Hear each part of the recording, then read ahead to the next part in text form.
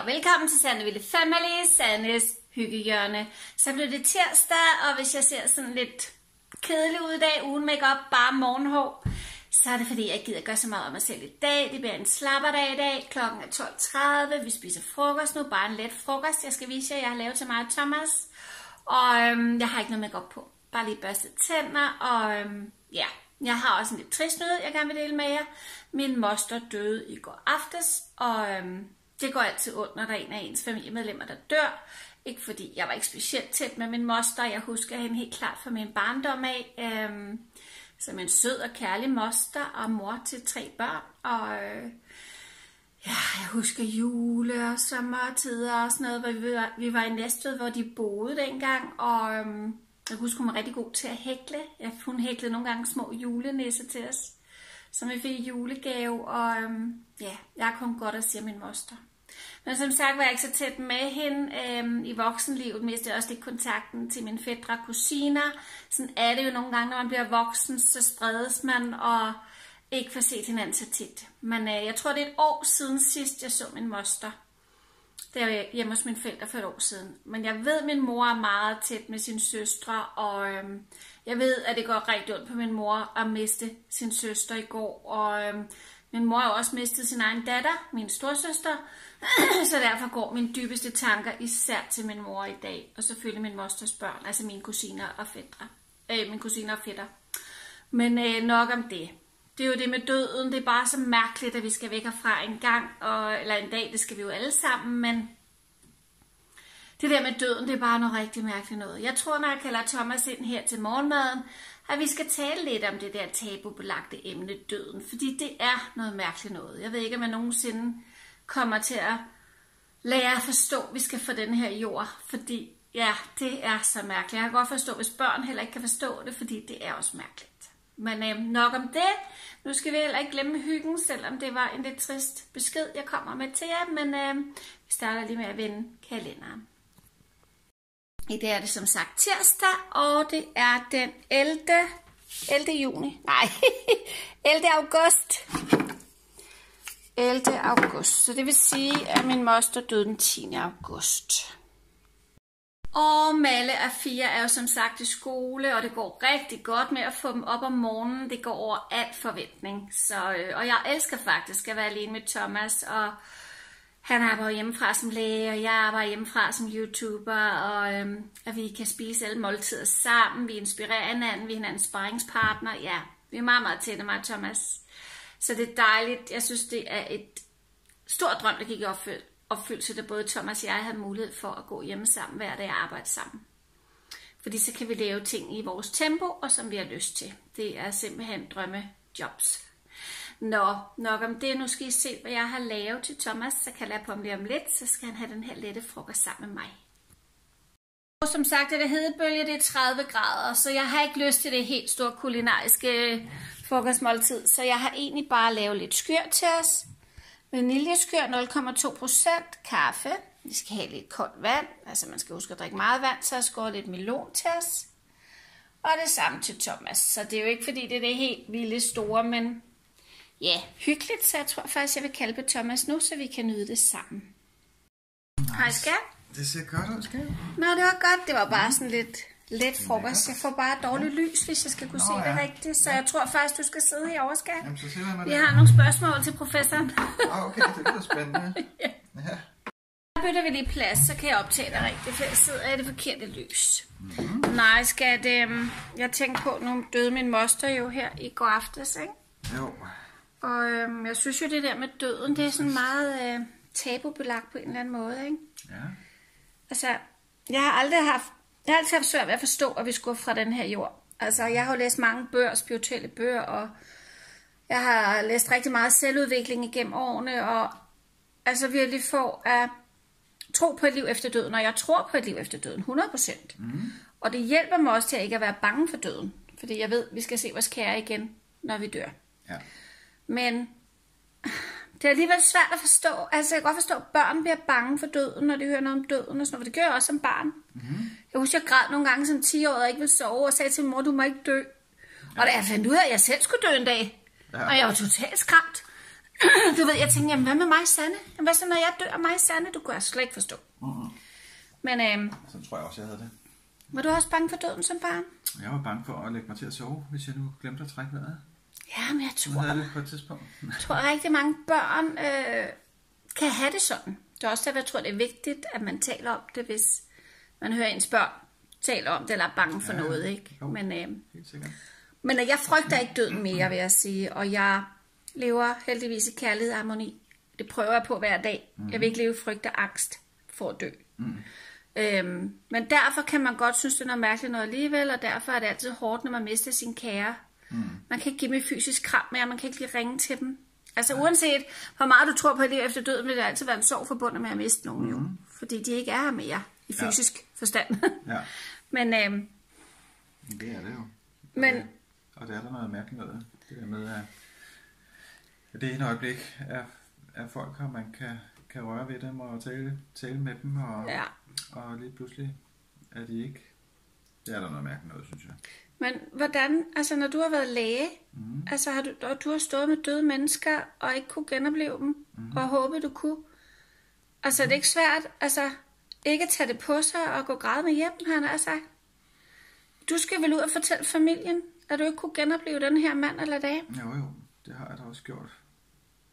Flere gange, mange gange, Ja, igennem min tid på sygehus. og det er derfor, at du må virkelig være stærk psykisk. Altså det er jeg ikke sikker på. Jeg, kunne, jeg kan jo ikke komme hylden ud til folk og sige, at deres kære er døde Man er jo. nødt til at lægge en distance til det, og, og, Ja. og sige, det her det er mit job, og jeg gør det bedste, jeg kan, men jeg, man kan jo ikke man kan jo ikke redde alle. Nej. Øhm, så jeg tror, det er vigtigt, at man, at man har en distance til det, trods alt, ikke? Ja. Og man, og man tager kitlen af, øh, inden man går hjem. Ja, det tror jeg, du har fuldstændig ret i. Mm. Men hvordan, skat, har du det med døden i forhold til, at du er læge, og det faglige, du har set, og bare dig selv og dine egne tanker? Altså, er du bange for at dø? Jeg er da bange for at gå glip af noget, Ja, tror selvfølgelig. jeg da. Jeg, men altså, jeg går, ikke, jeg går ikke og tænker så meget over det, for at være helt ærlig. Nej. Øhm, jeg skal da bare have det meste ud af min tid her på jorden. Og, Ja, og sådan har jeg øh, også. Jeg ved da godt, at, at døden ligger derude i, i fremtiden et eller andet øh, sted, som man heldigvis ikke ved, hvornår er. Men øh, jeg har bare fokus på at få det bedste ud af min tid, øh, mens jeg er her. Lige nøjagtigt mine ord. Mm. Men tror du også på et liv efter døden? Ja, det gør jeg da. Åh, oh, hvor er du dejlig, min mand. det er ikke mig, der har for overbevist alt det Nej, bør, jeg læser. Nej, det Nej. tror jeg da. Og, og øh, ja, det giver da også et eller andet håb på Ja, en eller anden måde. lige øh, nøjagtigt, sådan at, har det ikke, at det ikke slutter, selvom man lukker sine øjne og trækker vejret for sidste gang. Øh, Ja, så er det fandme Så- deprimerende. Hvis, hvis det bare var at slukke lyset, ikke? jo. Øhm, jo, det gør jeg. Jamen, det gør jeg også. Mhm. Mm. Altså, det, og det hjælper jo lidt på angsten for døden. Ja, ja. Altså, en ting, jeg kan sige, jeg kan være bange for, ikke? Mm.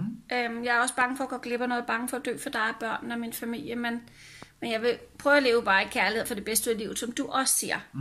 Men hvis der er noget, jeg godt kan være bange for, så er det at lide, når Ja. jeg skal dø. Ja. Og er det noget, du kender til, at mange mennesker kan have det sådan? Altså, man vil helst ikke lide, når man dør. Hvis jeg skal dø en gang, altså skal jeg jo, så vil jeg bare helst sove stille og roligt ind i døden, og bare, Man helst bare lægge til at sove, ikke? ja, altså jeg skal ikke ligge og lide. Nej. Helst ikke.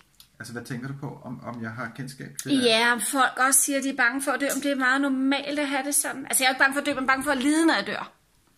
Ja, Men det er nok også, fordi jeg har hørt nogle skrækhistorier på det sidste, du ved. altså selvfølgelig er der, der er nogen, Med der, folk, der lider lige inden de der dør, da og det er jeg ikke så der- god til.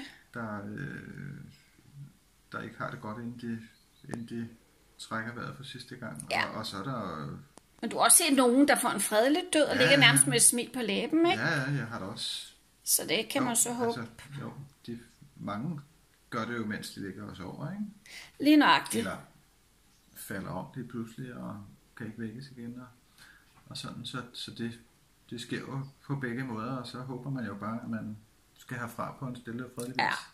Lige nøjagtigt. Ja. Fordi vi kommer ikke uden om, at vi alle sammen skal herfra en gang. Men Det skal vi. du ved, jo, det passer ikke helt. Jeg er ikke er bange for det med døden. Altså, jeg er Mhm. ikke... Jeg, altså, jeg er ikke bange for at dø i den forstand, for det skal vi alle sammen, men jeg er faktisk mere bange for at miste min kære, end jeg går og tænker på selv at dø. Ja. Du ved, jeg kan være bange for, at mine forældre får corona og dør lige pludselig, mm. eller ja, at der sker vores børn noget, eller tænk, hvis Holly fik kraft igen, eller ja. der er ikke noget, der fylder min hverdag. Altså, jeg prøver Nej. at leve i kærlighed og gode tanker, men hvis jeg sådan, så kan jeg i hvert fald godt, du ved, være bange for, men nærmest dør fra mig. For det mm. der med, at man ikke lige pludselig er, kan dele oplevelserne sammen på jorden med jer, ikke? Jo. Ja, men så er det jo, ja, det er jo også, så er det jo dig, der mærker tabet, ikke? Ja. Kan man sige. Man siger jo faktisk også, det er jo hårdest for de efterladte, Ja, ja. når der er en, der dør. Ja. Altså ham eller hende, der er død. Jamen, de har det storslående i de bøger, jeg har læst. Altså, de er jo sammen med alle deres andre afdøde, og selvfølgelig bliver de ked af at se, at vi er ked af det her på jorden. Mm-hmm. Men, men der er kun ja. kærlighed og harmoni. Fred og harmoni. Ja, når man er død. Ingen smerte, ingen, du er ikke øh, lukket ind i en fysisk krop. Altså ligesom at flyve rundt som fuglene derude, ikke? Det skulle være, ja. På den måde skal man ikke være bange for at dø, jo, når man er død, fordi det, ja, jeg ved egentlig ikke, jeg prøver bare sådan at tale lidt om emnet med Ja, dig, ja. fordi jeg synes, det er meget tabubelagt, og det er Ja, et ja, og- svært emne at og tale om, ikke? Holdningerne er der sikkert mange, og, og Ja. det er jo, det handler jo om tro og, og hvad, hvad man tror på. ikke? Ja, Øhm, for vi ved det jo ikke. nej, Men, øh, men øh, der er bestemt ikke noget mistet ved at, at tro, at der er et liv efter døden. Men nej. snarere tværtimod øh, giver det der håb. Altså jeg vil sige, det hjalp jo mig i form af, at, eller da jeg tabte, eller mistede min søster. Ja. Det var jo det værste, jeg oplevede i mit liv, mm. kan man sige, ikke? Jo. Altså, så læste jeg en masse bøger, og Linda havde godt nok sagt mange år, før hun døde. jeg tror, vi var i 20'erne en dag, jeg besøgte mm. Hun sagde, Sanne, når vi dør, så dør vi slet ikke. Så sagde jeg, hvad? Jeg har altid været så bange for at dø, ikke? Ja. Jamen, Linda havde læst masser af bøger, hun sagde, jamen altså, man lever videre, Ja. bare i en anden, I en anden form. en anden form. Ja. Så det var jo, jamen, så det har jeg jo vidst i 20 år, ikke?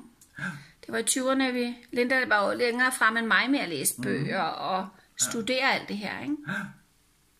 Men øh, ja, så er der jo heller ikke mere hokus pokus i det. Det er jo bare det egentlig, at jeg tror på og hjælper Ja. ja. mig. Også når jeg mister nogen at tænke på, når jeg engang om mange år skal frem, så ser jeg dem heldigvis igen. Altså, der er ikke noget, der er slut. Nej. Også ligesom man kan sige om vinteren, når træerne dør ude i haven. Det er jo ikke slut, fordi træet ser vissen og dødt ud. Det kommer igen. Det kommer igen. Alt liv eksisterer og bliver ved og ved. Ikke? Spiger igen hver forår, mm. blomster hele sommeren, dør mm. igen til vinter. Men det er jo ikke død, selvom træet ser dødt ud. Det spiger igen. Det spirer og sådan siger man også med livet. Der, det er uendeligt. Og vi er, en, vi er jo en del af det hele. Hele universet, ja. Altså, vi er, vi er, er ligesom vi... Ja, vi, vi påvirker hinanden, ikke? Det gør man. Og derfor skal man jo også huske Behandle at være, være god ved Ja, andre mennesker og god ved naturen. Og, Ja, jeg er helt enig.